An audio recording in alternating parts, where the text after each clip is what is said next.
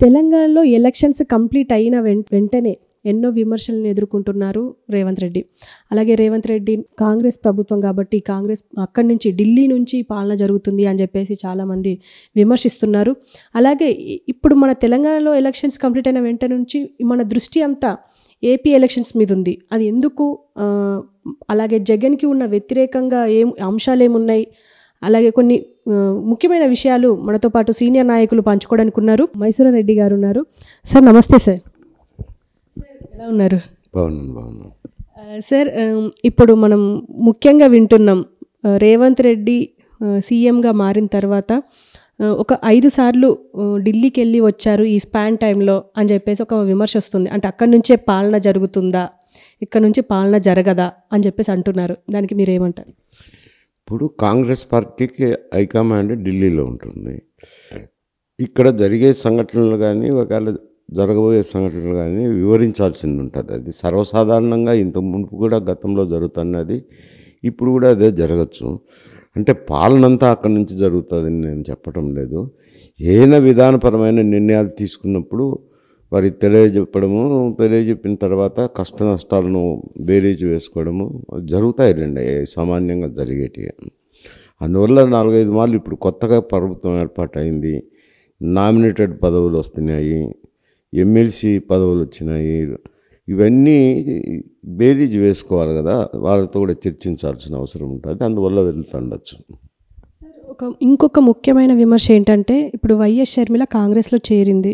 దాంతోపాటు ఏపీలో కంటెస్ట్ చేయబోతున్నారు. అంటే అక్కడ అన్న చెల్లెల్ని విడదీసే ప్రయత్నాలు జరుగుతున్నాయి అని చెప్పేసి ఇది ఒక ముఖ్యమైన విమర్శ ఏపీ నుండి. దాన్ని మీరేమంటారు?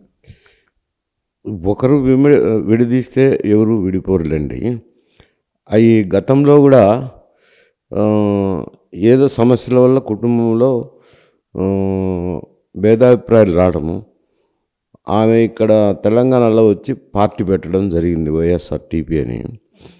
తర్వాత పాదయాత్ర చేసింది కష్టపడి తిరిగింది. తిరిగి ఒక ప స్టేజ్కి వచ్చిన తర్వాత కాంగ్రెస్లో చేరాలనే అభిప్రాయం వచ్చింది. అందువల్ల కాంగ్రెస్లో చేరేటప్పుడు ఇంకా పార్టీని మెర్జ్ చేసి కాంగ్రెస్లో చేరింది.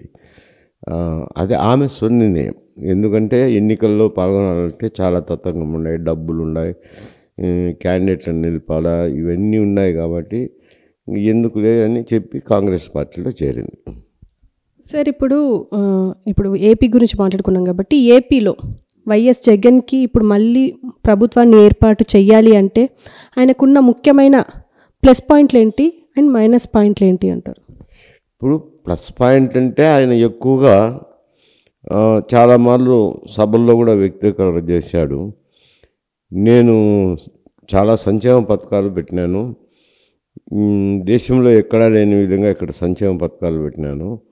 ఆ సంక్షేమ పథకాలే నన్ను గెలిపిస్తాయి అని అంటూ కూడా చెప్తా వచ్చినారు. కానీ సంక్షేమ పథకాల అమలులో వచ్చేసరికి వందకు వంద శాతం శాచురేషన్ ఎవరూ రీచ్ కాలేరు. కొన్ని షరతులు విధించాల్సింది ఉంటుంది. షరతులు విధించినప్పుడు అందరికీ ఆ, షరతులు లోబడి ఉండవు కాబట్టి ఒక యా నలభై శాతం మ్యాక్సిమం ఫిఫ్టీ పర్సెంట్ పీపుల్కే ఈ సంక్షేమ పథకాలు లభ్యమవుతాయి. లభ్యమైనప్పుడు మిగతా యాభై శాతం మంది వ్యతిరేకిస్తారు కదా. ఎందుకంటే ఇప్పుడు ప్రతి ఒక్కరికి తెలుసు ట్యాక్సులు కడుతున్నాం. ట్యాక్సులకు అందరూ ధనికుడైనా కానీ పేదవాడైనా కానీ అందరూ పే చేయాల్సిందే.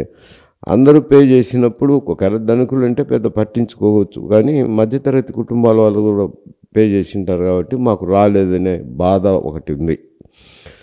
అది తర్వాత అమలు చేసిన తర్వాత డీజిల్ పెట్రోల్ ధరలు పెరగడం అయితేనేమి ఈ ఇతర నిత్యావసర వస్తువుల ధరలు పెరగటం అయితేనేమి ఇవన్నీ చేసిన దాని వాళ్ళలో రెండోది ప్రతి ఇంటిలోనూ ఎవరో ఒకరు తాగే వాళ్ళు ఉంటారు మద్యము. అక్కడ విపరీతమైన ధరలు బ్రాండ్స్ కూడా సరిగా లే రకరకాల సమస్యలు ఉన్నాయి. ఉండినప్పుడు ఆ కుటుంబంలో సంక్షేమ పథకం వచ్చినా కానీ ఈ ఈ తాగేవారు ఉంటే కనుక ఒకరు అంతా అందుకే పోతుంది డబ్బు. అందుకే ఏమంటున్నారంటే ఈ చేతి ఇచ్చి ఆ చేతి తీసుకుండే అనేవాళ్ళు కొందరు ఉన్నారు. ఈ సంక్షేమ పథకాలు వచ్చినా ఈ ధరలు విపరీతంగా పెరగడం వల్ల మాకేం మిగలడం లేదు కదా అనేవాళ్ళు కొందరు ఏం ఆయన ప్యాకెట్ నుంచి ఇవ్వలేదు కదా మనం కట్టిన ట్యాక్స్ నుంచి మన డబ్బే మనకి ఇస్తున్నారు కదా అనేవాళ్ళు కొందరు. ఇట్లా రకరకాలుగా ఆ సంక్షేమ పథకాల పట్ల కొంచెం విసిగెత్తినారు. విసిగెత్తిన దానివల్ల ఆయనకు కూడా అర్థమైనట్లుంది. అందుకే శాసనసభ్యులందరినీ మార్పులు చేర్పులు మార్చడమో లేకుంటే లేదని చెప్పడమో చాలా కలకలం రేగుతుంది కదా. ఈ విషయాలన్నీ దృష్టికి వస్తే అవన్నీ జరుగుతున్నాయి దాన్ని బట్టి కొద్దిగా ఇబ్బందికర పరిస్థితే ఉంది. అక్కడ సానుకూల అంశాలు మా వ్యతిరేకమైన అంశాలని మాట్లాడదనుకుంటే జనరల్ ఫీలింగు ప్రజల్లో కొంచెం అసంతృప్తి ఉంది. అసంతృప్తి ఉండ- ఉండాది కాబట్టి కొంచెం ఇబ్బందికర పరిస్థితే రేపు ఎన్నికల్లో. ఇవన్నీ దృష్టిలో పెట్టుకొని ఆ మార్పులు చేర్పులు ఇవన్నీ చేసుకుంటున్నారు. ఇప్పుడు ఆయనకి ప్లస్ అవ్వడానికి ఇప్పుడు క్యాండిడేట్లను మార్చారు. క్యాండిడేట్ ఇప్పుడు సీనియర్ నాయకుల పిల్లల్ని వారసులుగా తీసుకొచ్చి పెట్టారు. అంటే యంగ్ డైనమిక్ అండ్ నాయకులు ఉండాలి అని చెప్పేసి ఒక పాయింట్ అయితే తీసుకొచ్చి చాలామందిని ఒక ఐదారుగురిని వారసుని తీసుకొచ్చి పెట్టారు. అది ఆయనకు ప్లస్ అవుతుంది అంటారా ఇటువంటివన్నీ ఎందుకంటే శాసనసభ్యుల మీద కూడా చాలా వ్యతిరేకత ఉంది. తెలంగాణలో మాదిరే ప్రభుత్వం మీద వ్యతిరేకత కాకుండా శాసనసభ్యుల మీద కూడా వ్యతిరేకత ఉన్నది. ఆ విషయాన్ని దృష్టిలోకి తీసుకునే మార్పులు చేర్పులు చేస్తున్నారు. చాలా చోట్ల నియోజకవర్గాలు మార్చినారు. ఈడ చెడ్డ పేరు వచ్చినాక ఆడ మంచి పేరు వస్తుంది ఇంతలోనే ఒక మాసంలోనే రావు.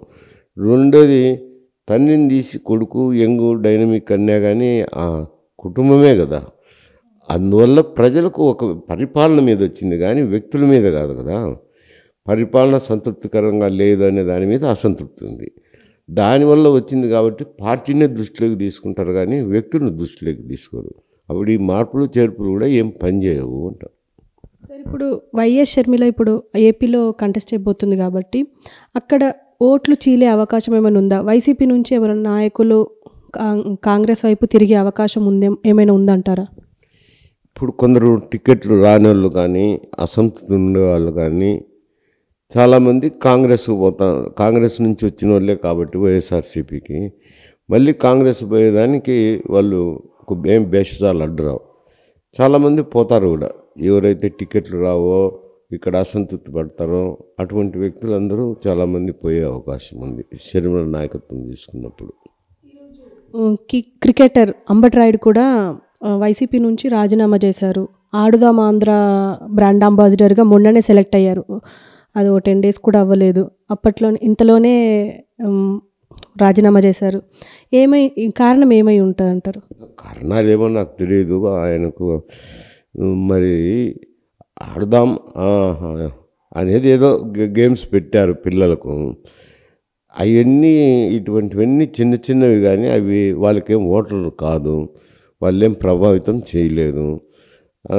ఆయన సమస్యలు ఏముండాయో మరి అంబట్రాయుడు కూడా రాజీనామా చేసిన విషయం అయితే తెలిసింది. సార్ ఇప్పుడు టీడీపీ విషయానికి వస్తే టీడీపీ జనసేన ఎప్- ఎప్పటి నుండో కలిసి ఉన్నారు. ఇప్పుడు బీజేపీ ఆ, వాళ్ళలో కలిస్తే వాళ్ళకి ఏమైనా ప్లస్ పాయింట్ అయ్యే అవకాశం ఏమైనా ఉందంటారా? ఇప్పుడు బీజేపీ వాళ్ళ ఆచితూచి వ్యవహరిస్తున్నారు. రేపు అక్కడ కూడా బీజేపీకి పార్టీకి పెద్ద బలమైన క్యాడర్ కానీ అటువంటిది ఏమీ లేదు ఆంధ్రప్రదేశ్లో. లేనప్పుడు కొన్ని సీట్లైనా కానీ తీసుకోవాలని.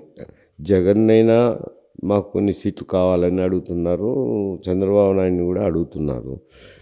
అడిగినప్పుడు వాళ్ళు నచ్చ చెప్పకుండా దానికి ప్రయత్నం చేస్తుంది. మేము ఎంతమంది గెలిచినా మీకే చేస్తాం కదా అనే మాటలు మాట్లాడుతున్నారు.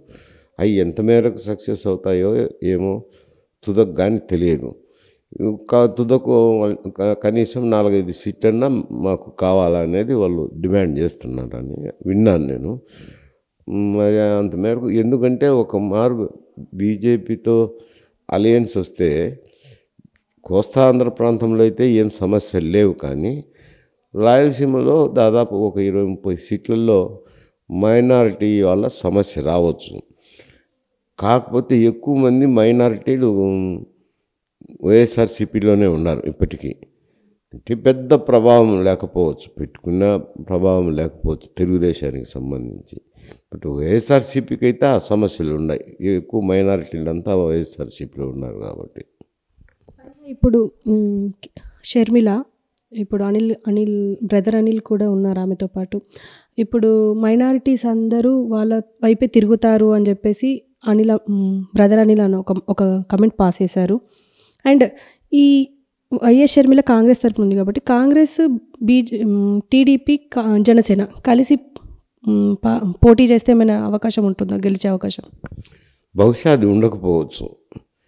ఎందుకంటే షర్మిల పార్టీ ఏర్పడినా కానీ అక్కడ ఇప్పుడు కాంగ్రెస్ అయితే చాలా బలహీనంగా ఉంది. ఏదో వెరీ కొద్ది మంది నాయకులు మాత్రమే ఐదారు మంది నాయకులు మాత్రమే ఉన్నారు. ఆంధ్రప్రదేశ్లో ఈ విభజన తర్వాత ప్రజల్లో కూడా ఒక రకమైన అసంతృప్తి ఉన్నది. మొదటి ఎలక్షన్లో ఉన్నది రెండో ఎలక్షన్లో కొంచెం తగ్గింది ఇప్పుడు లేకుండా ఉండొచ్చు బహుశా. అయినా ఇమ్మీడియట్గా నీకు పార్టీని ఆర్గనైజ్ చేసే శక్తి సామర్థ్యం ఆ పార్టీకి లేకుండా పోయింది అక్కడ. ఆమె తీసుకుంటే ఈ ఎన్నికల్లో ఆయన ప్రభావం ఆమె వచ్చినా కానీ కాంగ్రెస్ ప్రభావం తక్కువ ఉండొచ్చు కానీ జరగబోయే ఎన్నికలకు మాత్రం అయితే తయారు చేసుకోవచ్చు ఆమె. ప్రస్తుతం మూడు మాసాల్లోనే ఉంది. ఈ మూడు మాసాల్లోనే ఆమె పార్టీని ఆర్గనైజ్ చేసి పార్టీ తరపున అభ్యర్థులు నిలిపి ఇవన్నీ చేయాలంటే కొన్ని ఇబ్బందికర పరిస్థితులే. ఎంతటి వ్యక్తికైనా కానీ కొంచెం ఆ పరిస్థితి ఉండదు. ఎంతటి పెద్ద నాయకుడైనా కానీ అది కొంత సమయం ఉన్నా ఉంటే ఒక సంవత్సరం అట్లా సమయం ఉన్నా ఉంటే కొంచెం కూడగట్టేదానికి ఆర్గనైజ్ చేసేదానికి ఉండేది. ఇప్పుడు అంత టైం కూడా లేదు. జనవరిలోనూ నోటిఫికేషన్ వస్తుంది. జనవరిలోనూ ఫిబ్రవరిలోనూ వస్తుంది కాబట్టి అంత సమయం కూడా లేదు కాబట్టి ఈ ఎన్నికల్లో కాంగ్రెస్ పార్టీ తరఫున ప్రచారం చేసినా కానీ తిరిగినా కానీ అంత ప్రభావం ఏమి ఉండకపోవచ్చు. భవిష్యత్ ఎన్నికల్లో జరగచ్చు ఆ ప్రభావం. Okay sir. Thank you